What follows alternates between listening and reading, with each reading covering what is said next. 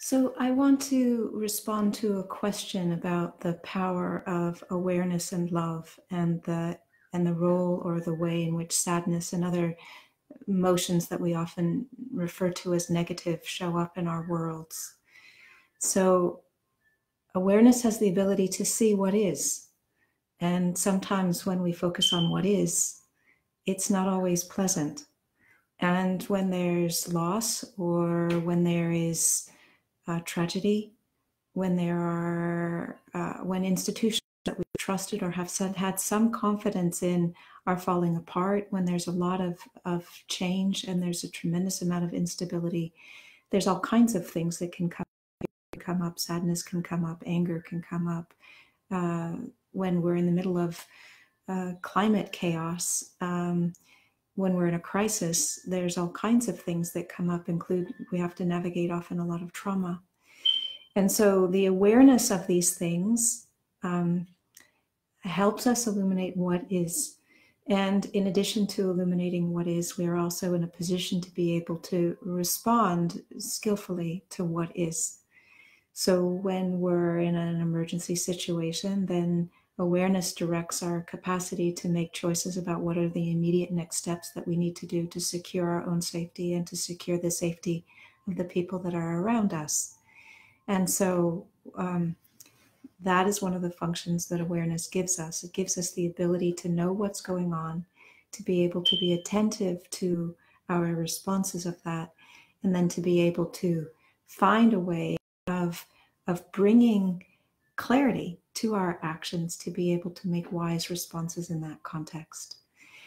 So this is a, uh, the second part of the of the live Facebook that I did before, which was responding to the question, and I realized that I didn't answer the question about is it possible to be loving when you see so much going on in the world that is so uninspiring. You see so many examples of people that are not being loving, that are not being wise, that are not being compassionate, and and so there's a question, you know, is it possible to actually be loving? Is it possible that any kind path of practice is going to generate a good result?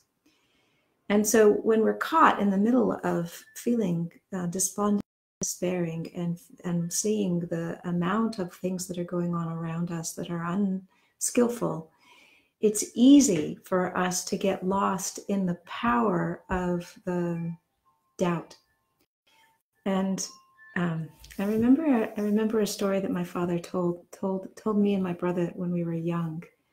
He said, you know, if you're if you're on a beach and there's a hundred other kids that are on the beach, and so sees out in the distance a dolphin swimming, and then one kid says that's a fish, and then you say, well, no, it's not a fish. It's actually a mammal. And so a hundred kids line up and they vote, and and they all decide that it's actually a fish but the the truth is not actually up to vote. so the scientific classification of a dolphin is not a fish. And so the reality of the nature of the mind is not based on the the the examples of the people around us. It's actually based on the truth of the way things are. And so when we are in the middle of unsettling situations or disillusioned situations or uninspiring situations, or when we feel heartbroken or when we're navigating trauma, it's often the lens that we are through. And through that lens, we see all of the reasons that support us feeling that way. It's a lens that reinforces itself. And so in biology, there's an expression, ontogeny recapitulates phylogeny. I may have got, got it backwards. Phylogeny recapitulates ontogeny. I can't remember. But what you start out with will be what you end up with. And the same is true with our minds. When we start out with sadness, unless we are discerning in the way we are relating to that sadness, then we will end up with more sadness. If we start out with disillusionment, if we start out with our heart broken, then it becomes the lens that we look through, and it is something that we will then see all of the reasons around us that will support us feeling sad and disillusioned and heartbroken. That's the nature of dependent co arising, that when we see something, it conditions our ability to see the same thing again. And that is why it's incredibly important that we understand the role of discernment in the way that we follow our thoughts and our feelings and our moods and our mind states. Because when we are looking through a lens of sadness, then the result is almost always that what we see is sadness. And so it is not the result of spiritual mastery to like our friends and to dislike the people that we don't like. Every ordinary person is capable of doing that. But it does take spiritual development to be able to have some reflective awareness and spaciousness with our friends, with our loved ones. And it takes some skill to be able to look and to see the positive qualities in people that are doing things that are harmful, that we don't just objectify them as the enemy. And so when we understand the spiritual training, the muscles of the mind that are needed in order to turn our mind towards the clarity of knowing rather than the object of what is known. When we have practice doing that, then we can see that when everything else falls away, when we're we're done with the emotions, the emotions all come and go, they come and go, they come and go. There's sadness and there's joy and there's excitement and then there's quiet, and then there's despair, and then there's curiosity, and there's happiness. They all have a lifespan and then they go.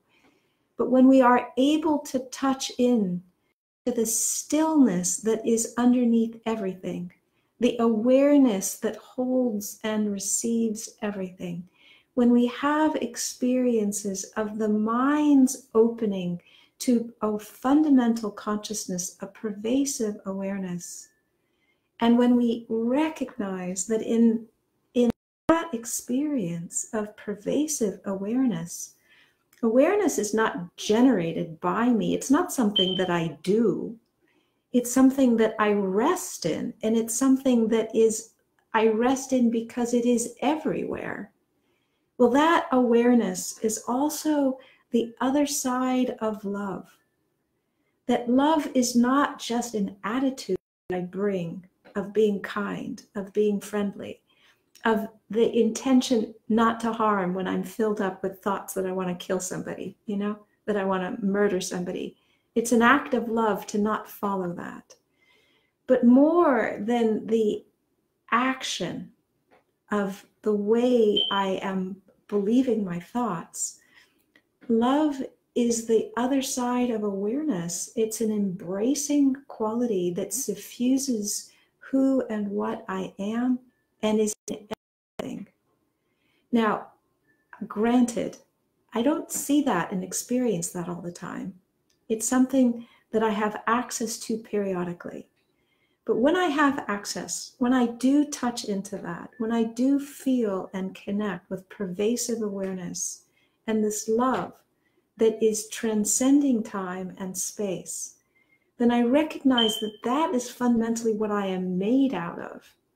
And so, whether everything is good or bad or incredibly challenging, and you know, life can be incredibly challenging. I get it. You know, I have had a few experiences myself I could share, you know. It's easy to get stuck in the mind states that are connected to the story. But when we use our meditation to drop into the witnessing and we stop being mesmerized by the fluctuating moods and thoughts that we have, and our mind opens to awareness that is pervasive, then in that pervasive awareness, there's also love. And when we know that, it's not a question of whether we believe it or not. It's not a question of whether we think the practice is useful or not. It's a direct experience that recognizes that beyond the changing mind states is something that is stable and holding and resting.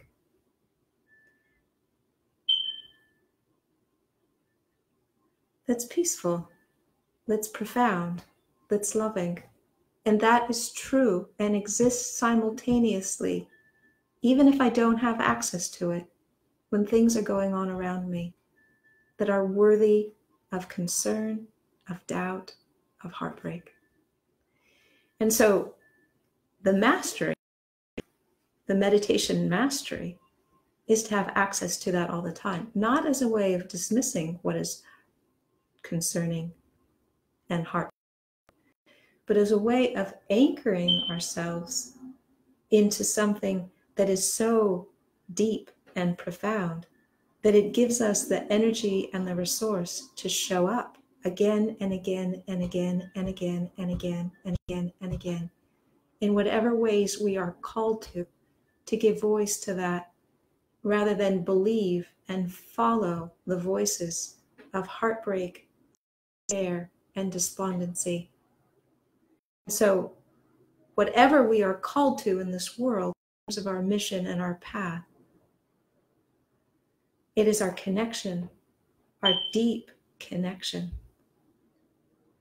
which connects us to the web of life, which connects us to the interconnection of all of beings, of all of life. That is where our source and our strength comes from. And when we're connected to that, then it's easier, not easy, easier to find the resiliency to navigate this stuff, which is heartbreaking and is going on all around us all the time. So, this is the second part of the question that was asked in the letter that I read earlier about what's the point of awareness and love? And is it something possible? And that is really up to each of us individually in our own practice to develop the skill and the mastery that we can touch into timeless, ever present awareness and its correlate of unconditioned love, no matter where we are and no matter what's going on. And for that, it's often incredibly useful to have community, to have teachers, to have regular practice, to have mentors, to have support, and to have retreats so that we can remember and be supported in doing this regularly. So bye for now.